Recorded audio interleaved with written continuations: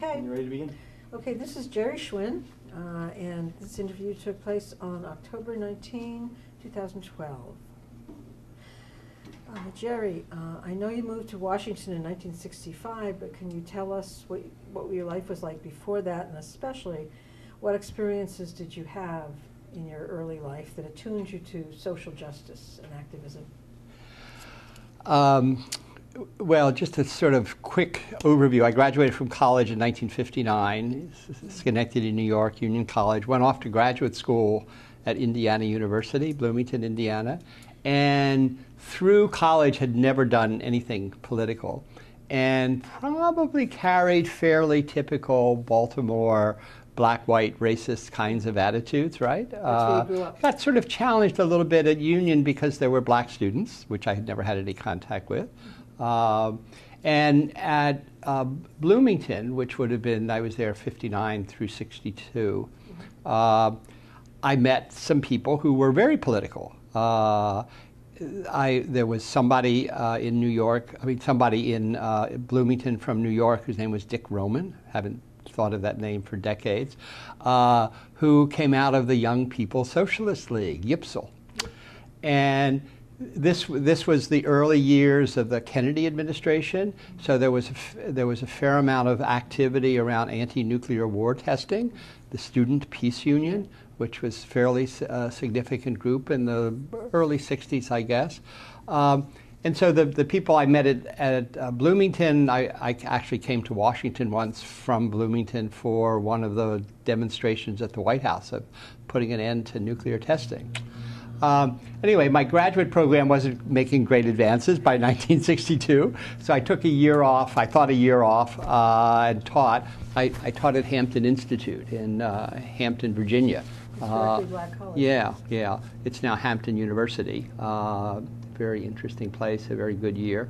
And again, I, I was trying to finish up a master's thesis that got totally rejected, as I, as, I, as I knew by my favorite professor who said, How could anybody have suggested this as a topic? So that sort of eased the break.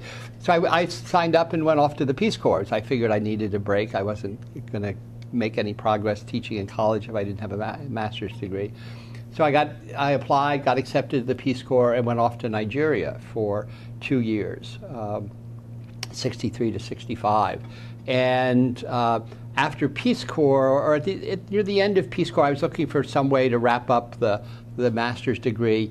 There was a program based in Washington uh, that allowed one to teach in the schools and get a master's degree by taking some course, finish a master's degree by taking coursework at Howard. It's called the Cardozo Project in Urban Teaching. So I taught. So I taught at Cardozo that first year, took courses, and that was enough coursework to wrap up the masters. Um, through those first couple years, I, I, began to make some contact with uh, other people who had been in overseas volunteer service organizations. There were people mostly around New York City who were beginning to try to create a group that uh, would gather together people who had overseas third world experience to, to use that as a platform to talk about what was wrong with what we were doing in Vietnam. Uh, so this would have been 65? Th this would have been, well, 66, 7, 66, 67 probably. After the war started. Oh yeah, after the war started. And in fact, I think very the, the first year, I think there was a fairly major uh, anti-war demonstration in probably 65. There were two. Uh, there was one in April at the White House, and there was another one in October. Paul Potter spoke at the first one. Carl Oglesby spoke at the second one. Yeah, and I went, I went, I went to those, and that was probably probably some of the some of the motivation for the people at, in New York to pull together a group. I I. Uh, don't remember quite how we linked up or made contact, but I, I met John McAuliff, who was who was why was he here in Washington? That I don't remember. Uh, but he and I started an effort to bring together returned overseas volunteers uh, who were living in the Washington area. And, and we had a couple really very large meetings. And another name from the past, we, we were able to get space to have the meetings at George Washington University through Mal Davis. Uh, Mal Davis was the on site requester of the space for us. Who's the chaplain. And, yeah. And so um, we, after some weeks or months and, and recruiting, urging people to come to the, the demonstrations. We created a chapter, and then they're eventually developed into a national group for a few years, the Committee on Return Volunteers. And, and one characteristic of that was that it was not just Peace Corps people, it was people who had served in IVS, International Voluntary Service, a lot of whom had served in uh, Vietnam. In fact, that may have been their only, or maybe other countries in Southeast Asia. Yeah. Uh, and then, then various church groups had sent volunteers to third world countries. So it was sort of a, an amalgam of people who had different third world experiences. Um, what other things were going on? I guess, uh, as I said, I taught at Cardozo for two years. I, I lived a block from the high school. Uh, not Tell us a little about what Cardozo was like in 1964 or 5. Well, th- there was a fairly sizable number of people who were um, in the program, a dozen or 15 or 20 people. Um, we taught just half time, so I think each of us had two classes at Cardozo. I was teaching English. Uh, English and social studies were the courses that people were teaching, I think. Uh, and then we had had seminars with people from Howard University that constituted getting graduate credit. Uh, and uh, I, it was it was all black at that point. I, I think now it has a very heavy Hispanic uh, student population. I don't know what the mix is, but but it was only black students to speak of in, in the mid '60s. Um, it was a fine school. There were there were other. Um, well, there was there was a teacher who was already there who I think had been in Peace Corps the first two years. Uh, might be somebody to talk about talk with about the activities. Roberta Rabinoff was was her name. Uh, she's still in town, still lives in the city. Um, but it was a good place to teach. I mean, it was very, I, I don't know, there weren't any tensions. You know, I mean, the, well, I guess the year after I stopped teaching there, or two years after I stopped teaching there, an assistant principal was killed in the school with, by a student with a gun. Uh, there, there, but there wasn't anything like, I mean, maybe I was oblivious, but it seemed a very low key kind of place. Uh, and uh, there was a, I think that was still in the days of tracking when they had uh, students were put in classes on the basis of either their previous record or their test scores or whatever. So there was a there was a group in the A track that isn't probably what it was called, uh, and uh, so they got very good instruction and. Um, there was there was I think also still vocational courses taught at uh, taught at Cardozo. Uh, don't quite remember what they would have been, but because there were there were still operating vocational high schools in the city, uh, Bell and Armstrong, and anyway. Uh, the other thing that that was also the the 60s was the beginning of the period of some movement towards home rule. Uh, Johnson had appointed or had established a, uh, an appointed city council. Some interesting local people got, got appointed to that. Uh, and then I guess it was probably under Nixon. I'm not sure where, when exactly it, it turned into an elected uh, city council. Prior to the city coun- 78 or 79. Oh, that late? Yeah, it was Oh, late. okay. Because Uh, we elected the first, the first mayor, elected mayor was Marion Barry. That was 78. No, it would have been Walter. No, Walter. Oh, Walter didn't get. appointed. He, I thought he ran and got elected once. Maybe he did. He might be right. Yeah, right. yeah. But he was, yeah, he was at first um, appointed. Appointed. Maybe, yeah, and then. Then ran one Okay, term so maybe and it then was maybe was defeated 70s. when he ran for reelection or not. Okay, whatever. Local history. Well, there was an elected school board uh, before that, uh, which created local political activity. And, and probably, in my recollection, the most prominent person uh, would have been Julius Hobson, who was not on the board, who, was, uh, who took the city and the school system to court over uh, equal resource, the distribution of resources equally across all the schools. It was apparently not done that way. Um, so there was a lot of activity around that area. Um, I, I, so I guess that I, I continued to be involved with anti-war activity through the Committee of Returned Volunteers, the chapter here, and, and, there, were, and there were a couple national meetings. Um, I, the year after, uh, I, I taught at Cardozo for two years. The, the third year I was in the city, I, I got a job with an anti-poverty program that was based in Anacostia. And War it- on Poverty? yeah, the war on poverty. uh, and it was it was running basic education and and maybe mostly basic education and and basic skills, job preparation kinds of things. Didn't have very much of an actual job focus, but. Uh, It was and- teaching. yeah, well, I was I was managing the teaching staff for what that was worth. Uh, it wasn't the most effective of programs. I'm not sure where people went from from that. Um, and then uh, I I applied and got a job with the U.S. Civil Rights Commission. They had decided that. Growing out of all the civil rights activities in the 60s, they needed to sort of find ways to focus on the, or to look at what was going on in the white community to try to deal with racism. Uh, and interestingly, the, one of the people who had been Peace Corps staff in Nigeria was running the Washington, was running one of the, the Civil Rights Commission offices. He had been the lone U.S. Civil Rights Commission representative in the South for, for a few years in the mid 60s, and then came to Washington and ran an office, and, and I think relocated to New York. Anyway, uh, so I did that for about a year or so. That was would have been like 67, early 68, and um, probably uh, all through that period. I mean, there was, as you said, there was an April and an October demonstration in '65. There were probably two demonstrations every year through through the '60s and into the into the '70s. Um, and of course, there was a lot of activity around the 1968 uh, primary campaign and then the convention, obviously, the convention in Chicago. And, and, and we, we mounted a pretty sizable group of people who, who spent the convention week in the park, Lincoln Park, Wow, Lincoln Park. across from the host hotel.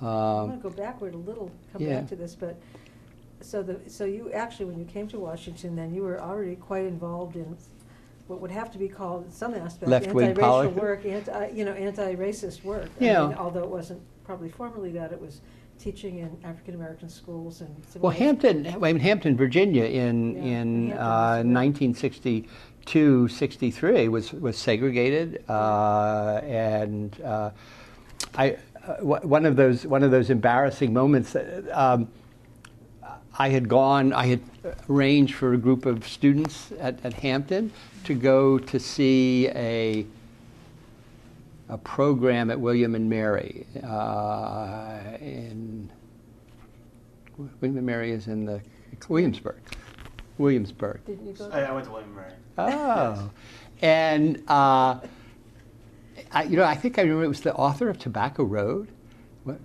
called uh, Erskine Caldwell. Anyway, we went. It was a great. It was a great event, and uh, we had a we had a college uh, car and driver, and so there were half a dozen of us and whatever. And, and coming back, we wanted to stop to get something to eat or, or use the bathroom or something. And of course, the place was segregated. And I, I volunteered to go in and get stuff for people, and the black driver said, No, we don't do that. Why? Well, you don't, you don't participate and support, you know, blatantly say, and, you know, I was, you know, sort of taken aback, but, you know, a very appropriate response and telling for someone who hadn't lived in the South, right? This Uh, this was Virginia in the late sixties. Yeah, Mid, yeah. No, middle sixties, I guess, right? Uh, well, no, this would have been, this would have been uh, uh, 62, 63. 60 okay, so it was. So it was really early. Yeah. There were some student demonstrations in the town that I that I that I joined and participated in. I mean, the, the lunch counters and the, everything was segregated in Hampton at that at that point. Um, and and then uh, for one of the motivating factors for going into the Peace Corps, I, I was in Hampton uh, during the Cuban Missile Crisis, and and Hampton almost sinks, and the the what's the phrase for that area, Hampton, Norfolk, the Hampton, Hampton Roads, Roads. area, Yes. uh, almost sunk, sinks into the ocean because of the amount of military bases and things, and. uh, I mean, nonstop planes taking on and off. You could hear them all day and all night long. And I said, that's not a good place to be. So I figured I'd go off somewhere where where uh, there was less chance of being involved in a nuclear war. And in the early '60s, uh, Asia was a disaster. I mean, you know, India, India was on the way to, you know, being a basket case if it wasn't already, and there wasn't anything else very promising in Asia at that point, oddly. Uh, Latin America was very dismal because every country was run by a dictator. whereas Africa was just coming out of the colonial period, first years of independence. You know, there was a lot of. So anyway, that. I I mean, the, the, the reversal of that situation in the 30, 40 years since is striking. I mean, Africa is basically the basic case, and Asia is really very prosperous, and there's been really significant progress in Latin, most of Latin America. Yeah, so if you look now and 40 years from now ago, anyway. Uh, so I got two years in Nigeria. That was a very good experience. I taught in a secondary school. that. Like, what was, what was the best st- stuff about being in the Peace Corps in Nigeria? Was Well, um, I mean, obviously to be in a place that was so different. Uh, and it was a new secondary school. So when I got there in 63, uh, there were only two classes of students. And then by the time I left, which I guess I came at the, near the end of the school year, uh, there were, they had already gotten to the, the five years, five years of secondary school, and then there's the sixth form. And so each year the school added another class, and so they added buildings. And, and uh, it's, uh, of course, nearly most of the schools in Nigeria at that point were, were uh, religious schools. The one I was in was run by Irish fathers uh, with Nigerian staff. And um, I started out living in a room with the, with the principal, the Irish father. And across the campus was this building that had six, six rooms, or there were, there were two. Uh, there were two units that had two rooms, a kitchen, and oh no, the kitchens were always outside. But anyway, a, a living room, bedroom, and then and then two others. That that was not very full. It only had two Nigerian teachers in it. So I said, "Why can I move across there?" And there was a little hesitation. I mean, move from the father's house to the house where the Nigerian teachers were. The father was a little slow to say yes, but he said yes. Uh, and then before I left. Um, the father went and built another house like the house that he lived in for for me. So I moved into a three a three room house the last six months or so that I was there, and then because you know the, the notion was that they would continue to to expand and they'd have more senior more degree teachers. The Nigerians had got, the Nigerian teachers generally had had just a couple years of maybe even just had secondary, uh, maybe through fifth form or sixth form. Uh, and it was a pretty British curriculum. Uh, John Brown School Days was on the curriculum.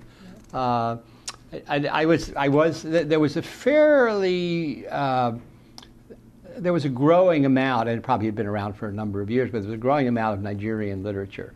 Uh, very prominent Nigerian novelists who, who wrote, uh, who wrote adult and non-adult books. So we were able to bring some of that into the into the classroom. Interesting thing, there was a series of books that a British publisher had put out, which which focused on on middle school, high school age kids in different countries, and so it was Athos of Greece or somebody of somewhere else, somebody, and and these were picture books with a story, so that were- the photographs were actually taken in the country where the story is being told by, and the focus of the story was the kids who were in the picture. So there was one called Okolo, Boy of Nigeria, and and so I, I, I got it. I we read it, uh, read through the book in class, and for a few weeks, every kid in the school changed his name to Okolo. you know, just which was some, I mean, the same thing happened when we read John Brown's School Days. Everybody changed their name, you know, just that that identification.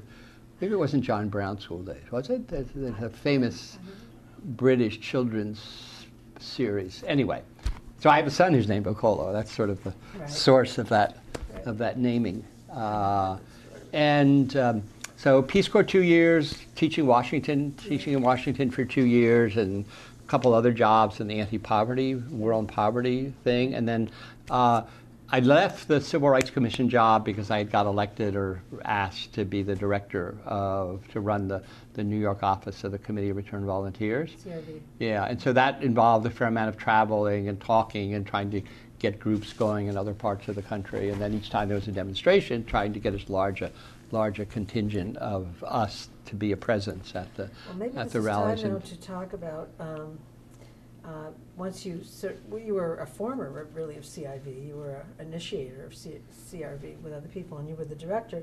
This is probably the time to talk about the great CRV takeover, isn't it? Um, while I was, I guess, yeah, while I was uh, the officer, what I don't remember what the title was, president, uh, I got invited with three other people to go on a trip to North Vietnam. There was a steady stream of American anti-war people invited to go to sort of learn about the other side and to to be able to be spokespeople for not everything is what the U.S. government says about what's what's going on and what's happening. Uh, and uh, remind me your question again. The, I lost that.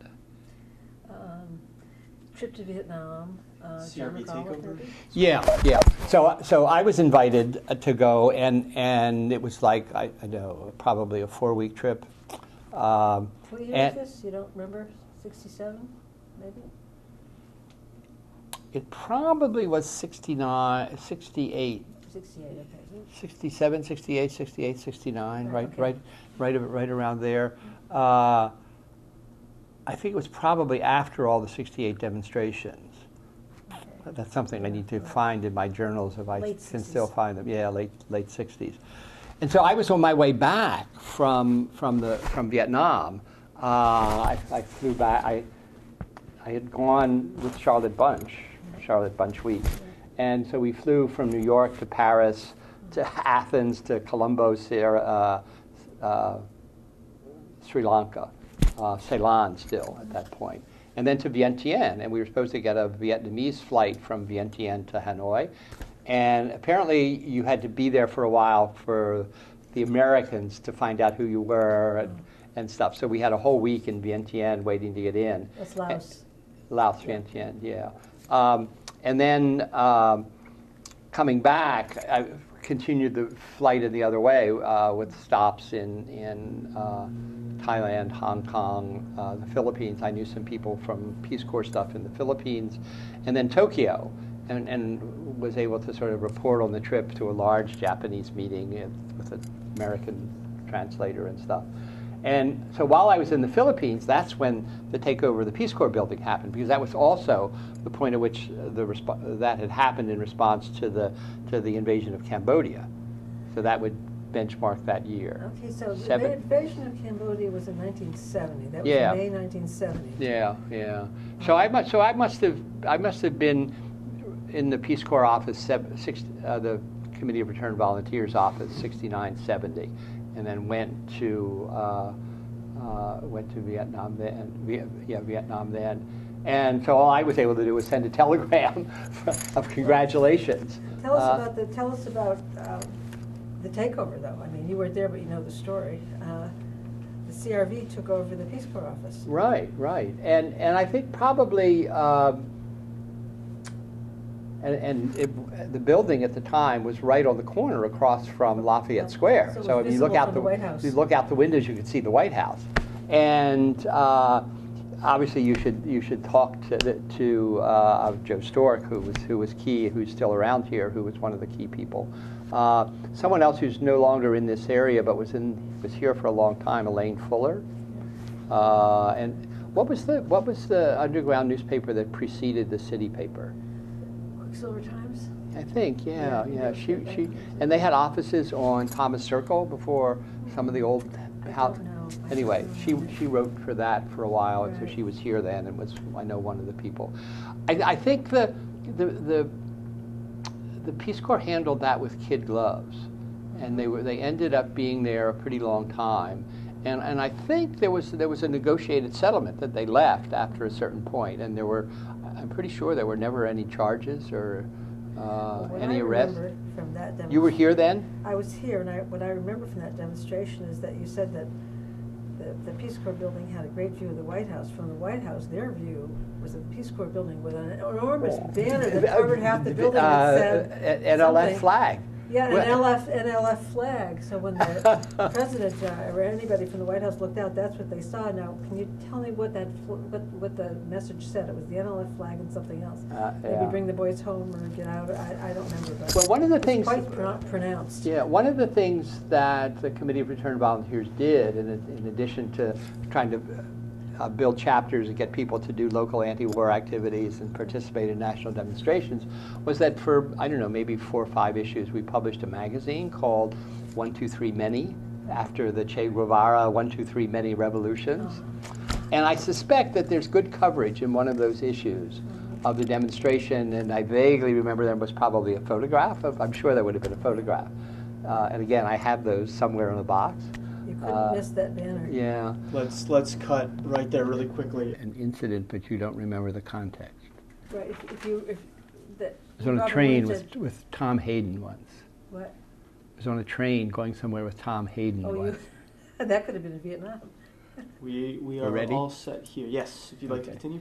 Um, Okay, so back to uh, CRV and. uh, Well, uh, through the the Yipsel connection in Bloomington, I went to Port Huron with uh, with uh, Dick Roman, and and you were there. Dick Roman and Yipsel and probably me at the time, though I was very uncomfortable with it, was sort of the right wing of what was going on at, at Yipsel because the Yipsel were the were the rather rigid anti-communist people, and uh, one of the things I guess one of the things I had done I, I just hadn't remembered this for a long. One of the things I did while I was in Bloomington for a period, uh, maybe on the verge of not continuing, but but I went I went to New York and spent a time spent a time at the SDS office with who was the first The SOC, Democratic Socialists? no no S, uh, Students for Democratic Society SDS. SDS uh, Al Haber.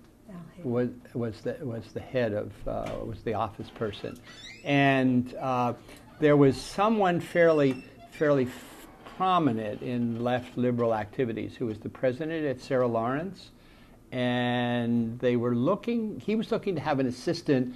And, and somehow he had contacted Al Haber at SDS to see it. So I got identified as somebody. So uh, that never worked out, but I spent some time working at the SDS office in New York and there were a couple people in a some kind of spin-off group from the old CP days. Uh, two two people my age, two guys my age, who were so knowledgeable about Vietnam. It was just amazing. I mean, they knew the whole history of the French involvement. Anyways, I don't know where that goes, but that's just something I might be able to flesh out and, and remember.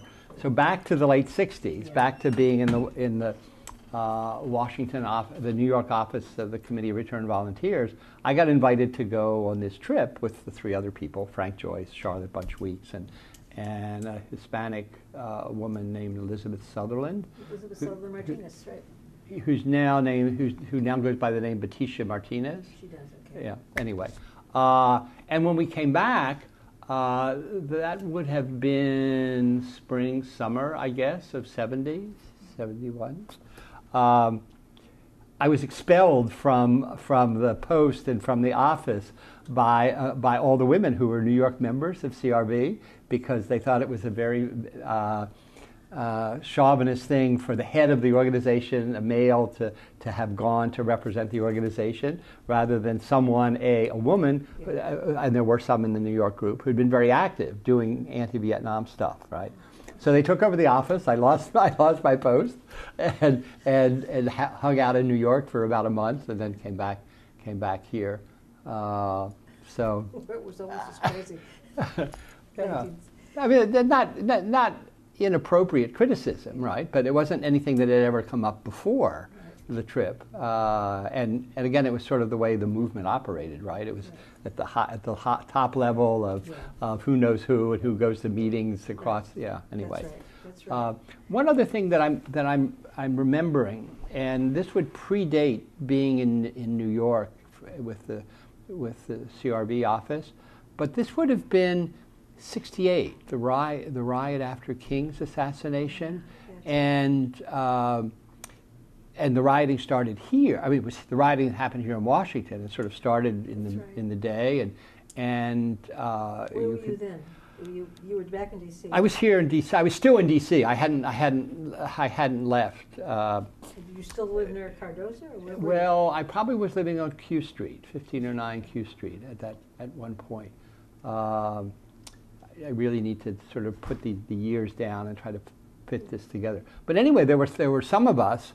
Uh, somebody named Paul Cowan, uh, who was here, uh, and he I'm not quite sure why he was in Washington. He left when he left Washington. He started writing very regularly for the Village Voice, Voice, yes. and then he died very young. He died of cancer in the eighties, I think. Yeah, like that, yeah. young, But, uh, he was around, uh, he was, he was also a CRV person. Yes. He was even in Ecuador, Yes, with Right. his wife yeah. and his who, who became a rabbi, Rachel Cowan. One of the Cowans, there were several Cowan girls, there was Rachel and, there was, well, there was several. Right, know which- which is- Yeah. Uh, well, anyway, I know uh, I know Paul and I. I don't know that John McAuliff would have been here. He probably wasn't here at that point. But there were there were a group of maybe a half a dozen of us who went into the Peace Corps office, uh, insisted on seeing the the director, who at the time was Vaughn, Paul Vaughn. Uh, I'm not sure, but Vaughn. He was he was the the person who succeeded Shriver. Yeah. Um, and our message, our quote demand, was that there's so many problems here at home that, that Vaughn should call on the Peace Corps uh, volunteers coming back and working in the United States. Not th- that didn't happen, obviously, uh, but it was a good exchange uh, for what that was worth. And um, Vista was also, Vista did do that. Was came Vista- well, yeah. I don't know. Vista must have been in existence at that point by Yeah, '68. It was, yeah, It was an early creation of the War on Poverty. Yeah, okay, Yeah, and maybe that was the mechanism. I mean, you could yeah. you had a mechanism and you could absorb the people, right. uh, but that it was sort of hypocritical to be doing good deeds overseas when so much needed to be done here. Mhm. Um, anyway, little vignette from from Yeah. that period. Um, and then after after my my uh, tour was ended prematurely, and I came back I came back to uh, Washington. Uh, I guess the next thing I got involved in the community bookshop, and uh, there. Well, before that, uh, they were in a basement on, of all places, K Street, between uh, 22nd and 23rd, or 21st and probably 21st and 22nd, in, in a townhouse. It's I mean, there are no more townhouses in that block anymore. And I, the, the person who started that and was involved for a long time, I can't can't bring up his name, but it- David Marcus. yeah, David Marcuse. And um, it had it had a fair amount of support and maybe fi- some financial support from a number of old Washington CP people. Yeah. That's where I met the people who Right. Garrett Park. Right. And and it was doing well, and so it moved very soon from a basement in, on K Street in a townhouse to to uh, the first floor of a townhouse on P Street.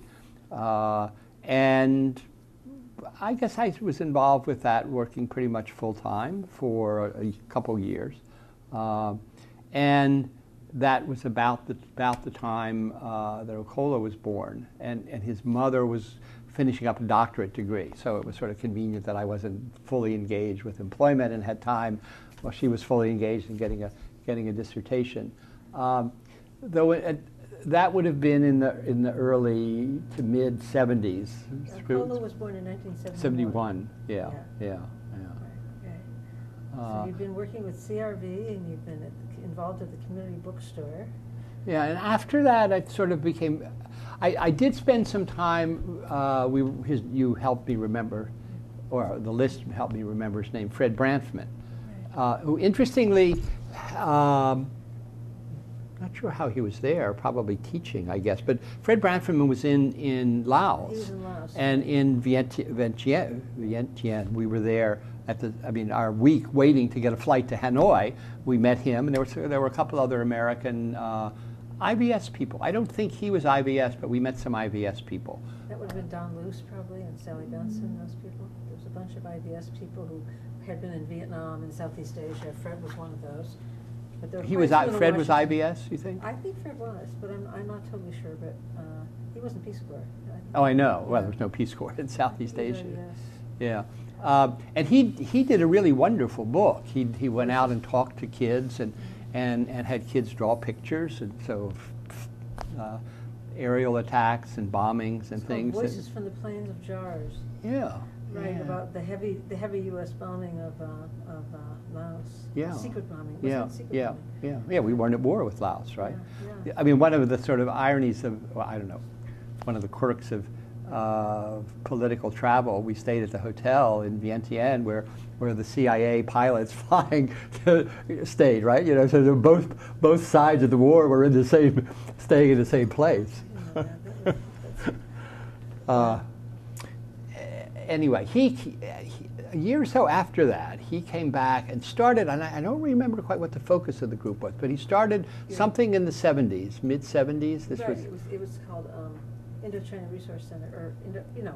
wait a minute. no, it wasn't the Indochina Resource Center. It was a whole building on 18th Street. Yeah, which is now- offices, And we- it had the Indochina Mobile Education Project, it had the um, Indochina Resource Center, and it had, the name of Fred's group, why am I drawing a blank on this? But it was, it was a center of activity for the anti-war movement. Yeah. And he was a frequent speaker at various things, and he wrote a lot of good stuff. He wrote, in fact, the director of IPS now, John Cavanagh, was an intern with Fred Branfman. Huh. That's how he ended up in Washington. He came as an intern to work on Oh. an anti-war stuff. Um, I'll remember the name of it in a minute.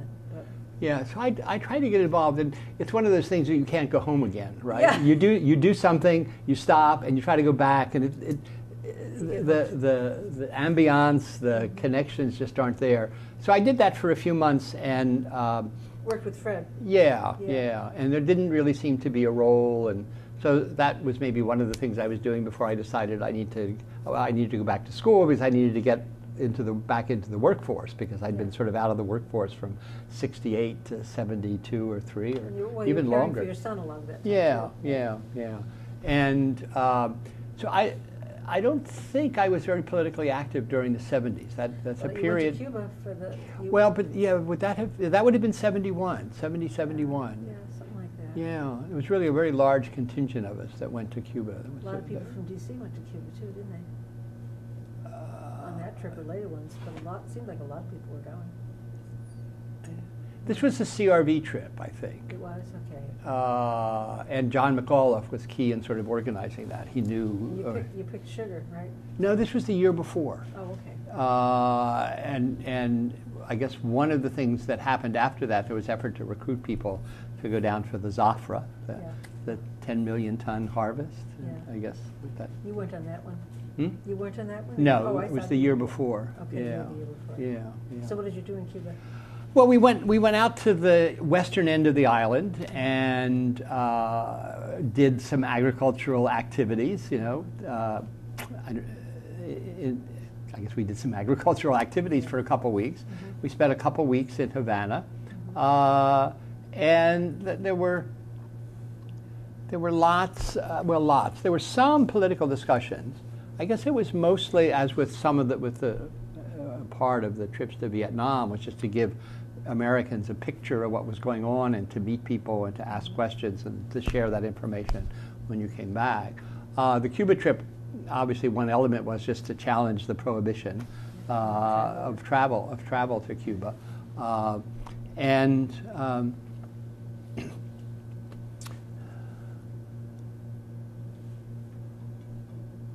Yeah, I don't know that very much ever followed on from the Cuba trip. Uh, I know post Vietnam trip, I did a lot of speaking and the small groups and things, and then it was whatever got written in the CRV magazine.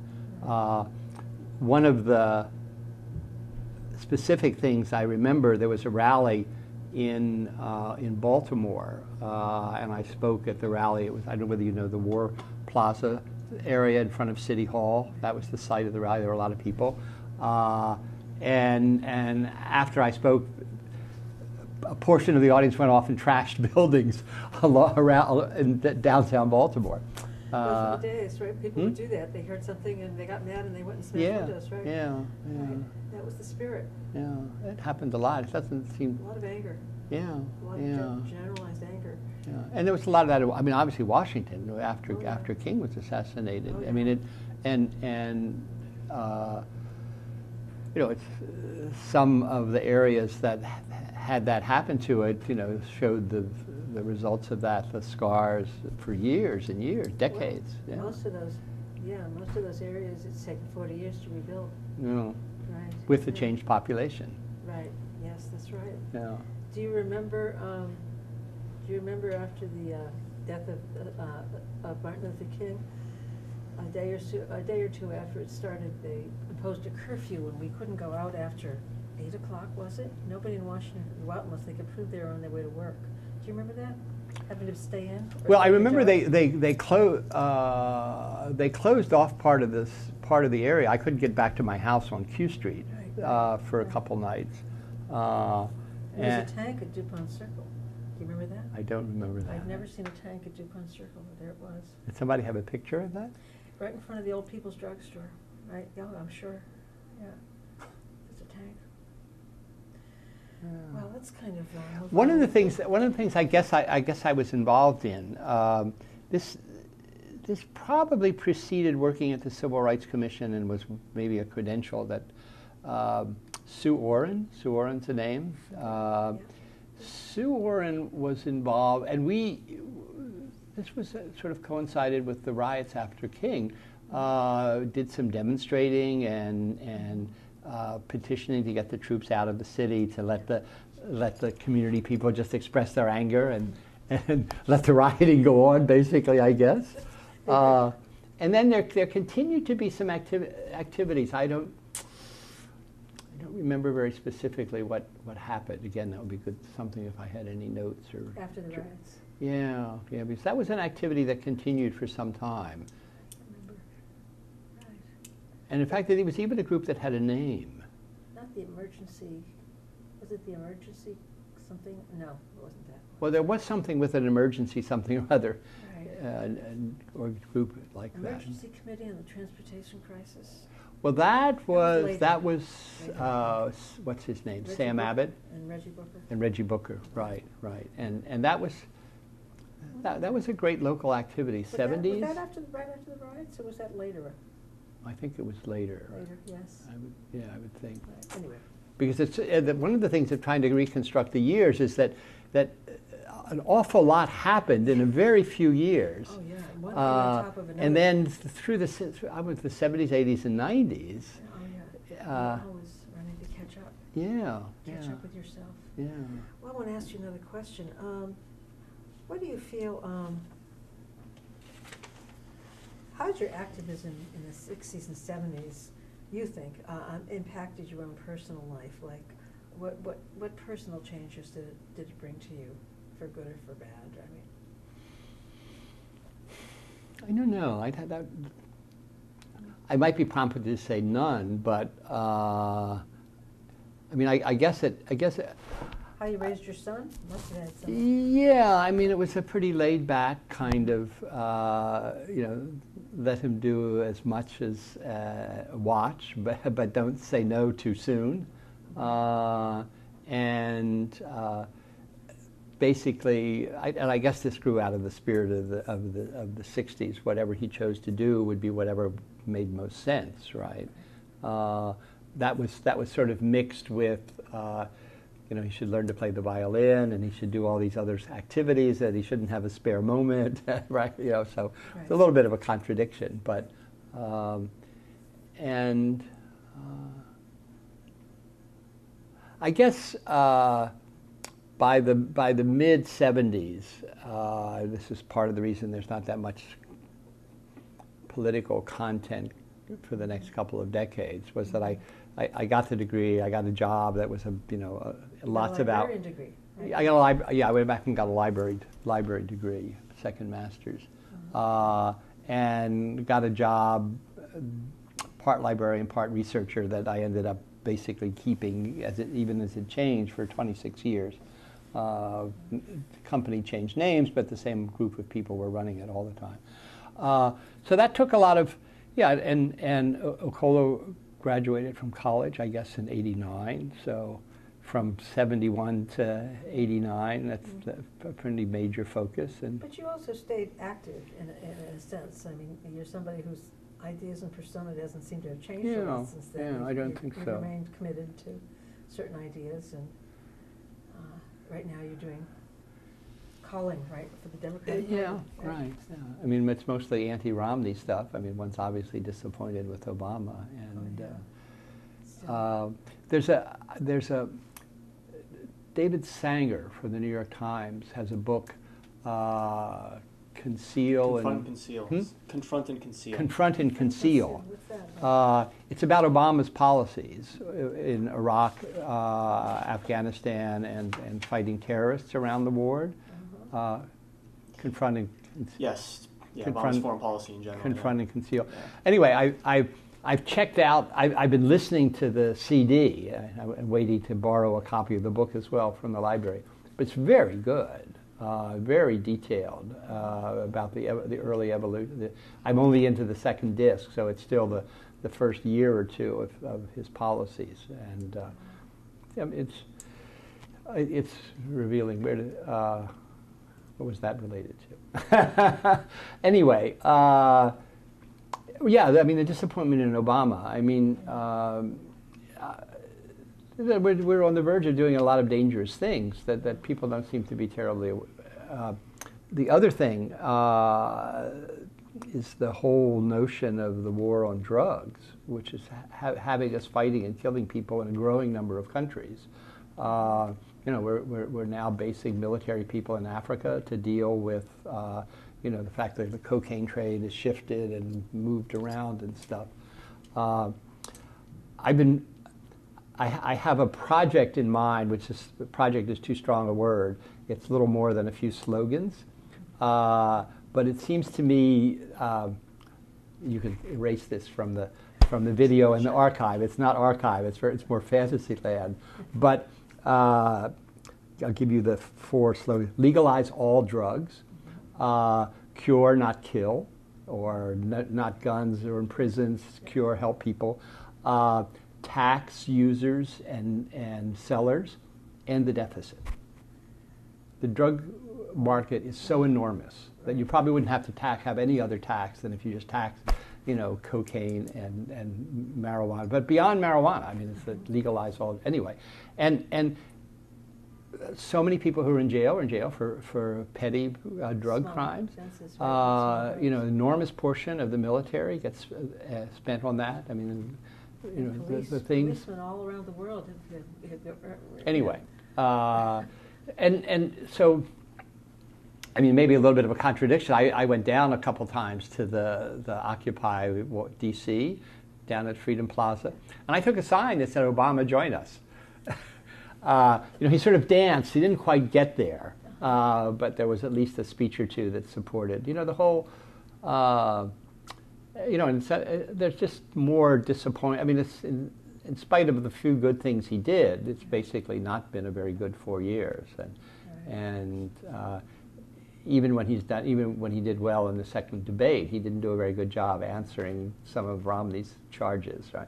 Rom- Romney, of course, is a wacko. I would just be a disaster if he were, if he and his people, Right. his people, right, were. Uh, Speaking Anyway. of Occupy, if you could, speaking of Occupy, um, if you could speak with Occupy Wall Street people today, the young people, or any of the uh, young activists who are doing social justice work, labor rights work, human rights work, what what's the main piece of advice you would give them?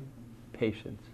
I mean, that's killed the that killed the, the the movement in the '60s. People just got impatient, right? Patience. They couldn't keep you couldn't people couldn't keep doing demonstrations. They had to move on to bombs, Mhm.